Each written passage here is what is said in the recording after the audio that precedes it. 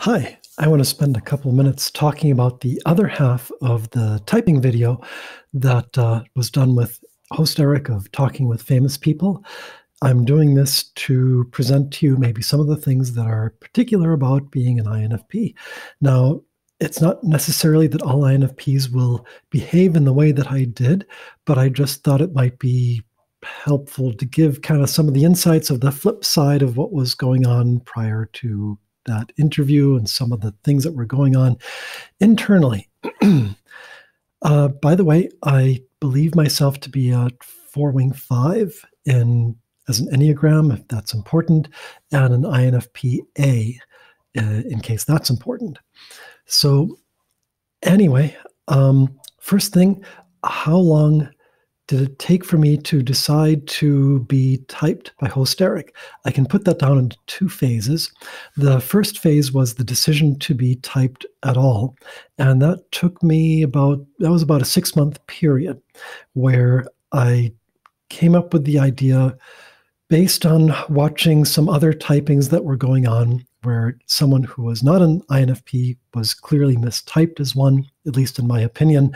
And then that made me question whether or not I was an INFP because it seemed like the other person who was typed as such and I had nothing in common. And then the other piece that made me hold off for a long time is that I wasn't sure that my wanting to get type was coming from a good place. If I was doing it simply because I saw someone else who I believed not to be an INFP to, I don't know, stick it to them to say, like, I'm the real thing and you're not, that was not an appropriate, it wasn't coming from a good place. So I was thinking that that was not a reason to get typed. So I made it through that six month period of thinking about it. And then there's another two months that went into looking into what host Eric of Talking with Famous People was doing.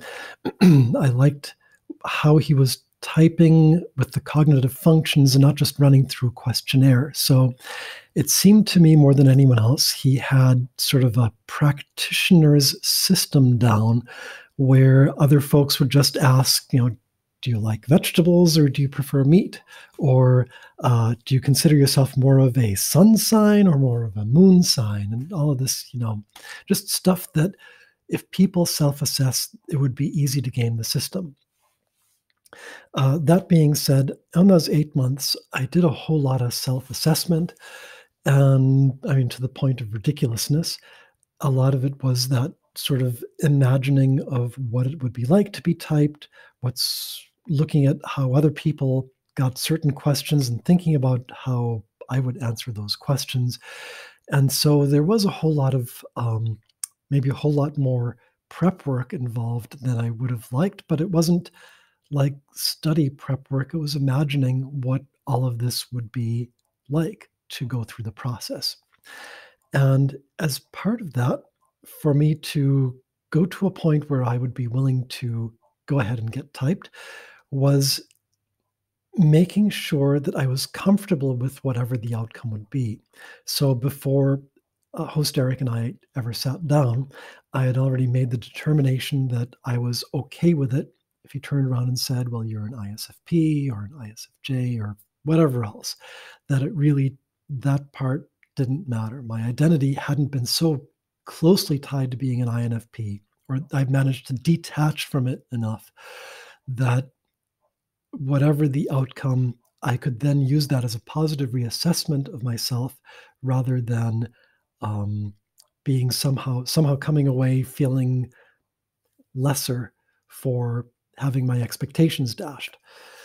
So I also considered all of the other kind of negative ideation of what sort of things would host Eric potentially say that would be a negative, you know, would I piss him off to the point that he'd start yelling at me? Would I be comfortable with that? If I completely flubbed everything and looked really foolish in front of everybody, would I be comfortable with that? So, if you're an INFP, chances are you err toward glacial decision making.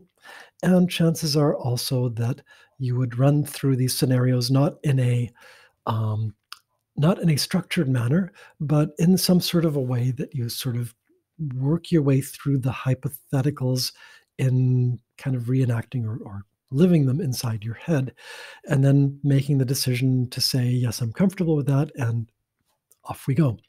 Um, still, I would not have pulled the trigger if not for Host Eric's Quiet Week, which suddenly I came to the realization that if I sit on this forever, um, you know, nothing is permanent. And so I potentially I risk missing the opportunity if host Eric one day decides that he's had enough or who knows what else.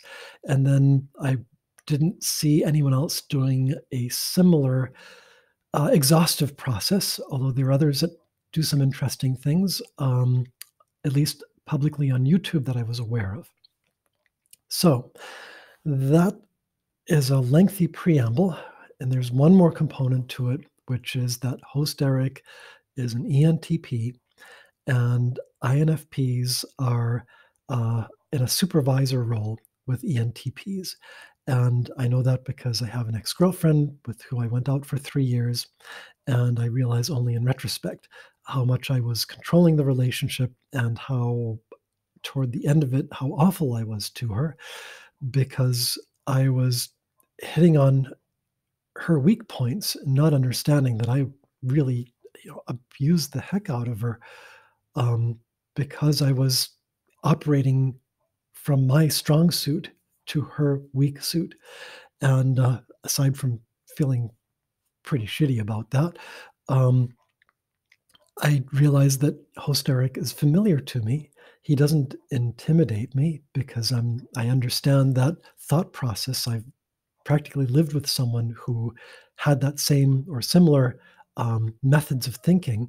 So it's very familiar, and I knew what I was getting myself into. So that all worked into it. And what finally tipped the scales was that um, I had to make the determination of whether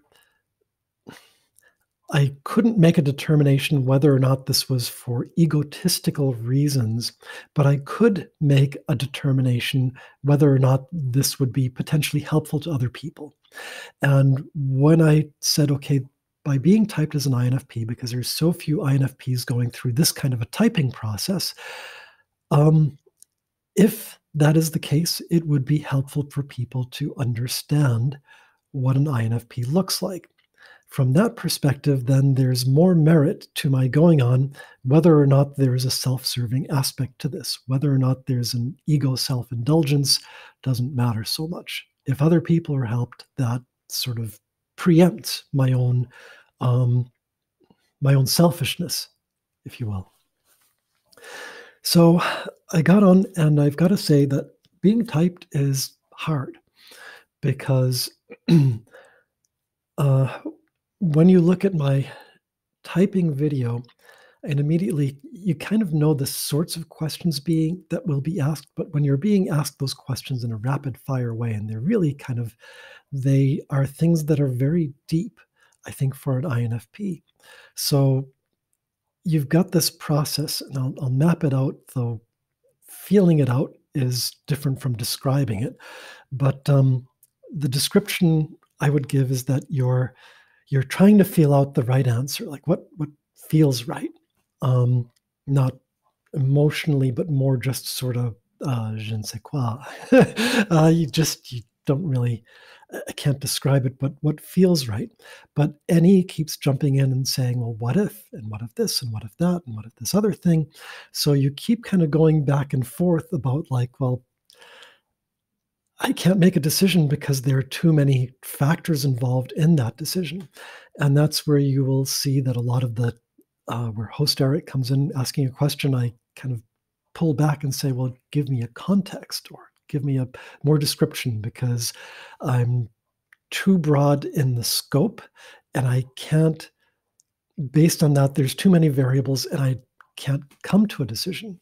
But even when the context is narrowed, it's still sort of this whole dialogue of like, okay, rein it in, keep out the crazy. Um, you're running out of time. So come to a decision uh, and that whole dialogue is going on while you're also thinking about the possibilities that like okay you know it's been five seconds six seconds and he's looking expectantly and you got to give him an answer so it's like you know you got to cut it off so there's a lot of that going on but the other thing going on as well is that uh, you'll see in a lot of places i'm doing my best to sort of defer delegate um, find some other way to not have to make the decision because making the decision is hard. It's much easier if you can kind of say, well, for these factors, uh, the decision is, you know, uh, I wouldn't know. Or um, you can kind of come up with a very generalized, like, this seems like a good idea because of this general systematic need, rather than being able uh, unequivocally to say, well, here's what I've got for a particular answer. So, um, again, if you're an INFP, that all should sound pretty familiar.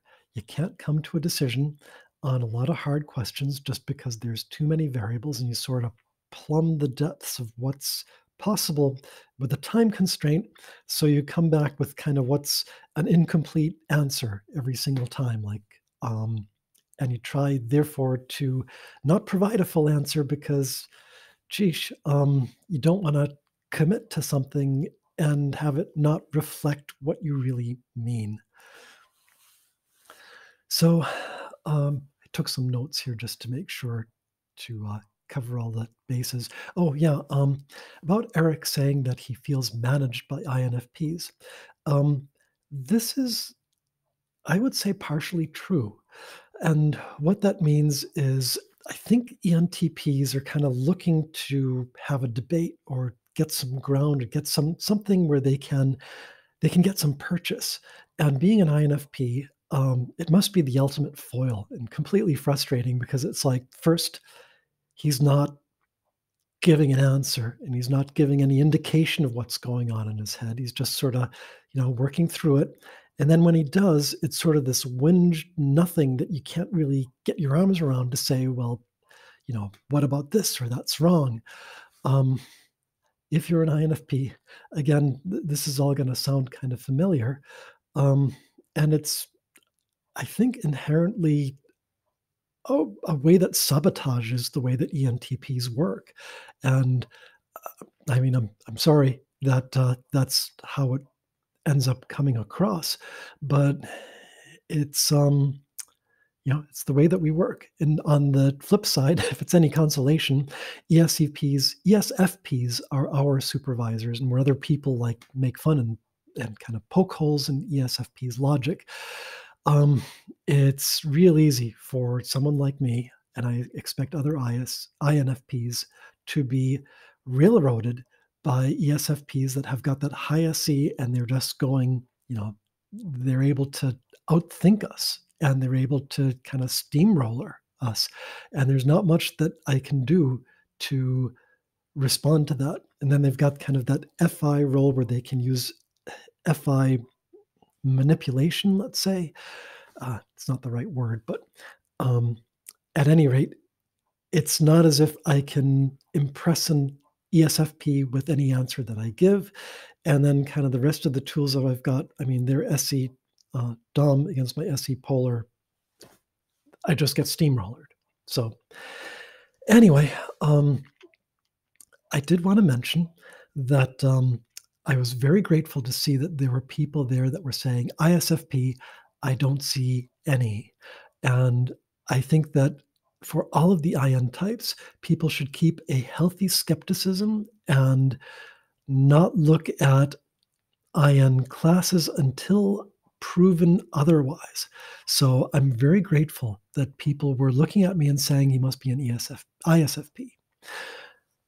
Um, the thing is, uh, and these are some assumptions. I mean, I'm not sure if this is right, but this is my best guess. Um, my NE is tuned to my FI. And a lot of the NE that you're looking for, that Host Eric was testing for, is NE linked to TI. That is Inky Pinkies to me. It's a riddle. You have to solve the riddle to get the word, word play. I like the word play. I don't like the riddle. So that's kind of where um, you know I I have fun making up inky pinkies, but I don't like solving them, and I'm not particularly good at it.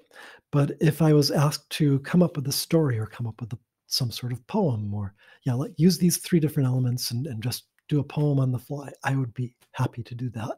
That sort of wordplay is fun for me. The the other piece of it is that I do, to an extent, suppress some of the silliness of my NE, and that's from experience. Um, some of the worst memories I've got are from when I used NE and I thought I was being funny and I said something that was extremely hurtful to somebody. And because of that, I kind of censor myself as to what I'm talking about. and that's um, people who know me uh, will know that I'm I'm all over the place with like wordplay and witticisms and all sorts of crazy talk. But I want to be careful when I'm in any sort of a public situation that I don't let the crazy side out too much because the next thing I know, I'm going to say something really bad um, that's going to hurt people eh, or that's going to cause offense or um, that's going to make people look at me like I've got two heads or what, whatever. So, because of that, you don't see a whole lot of NE going on. I'm sort of consciously editing it out.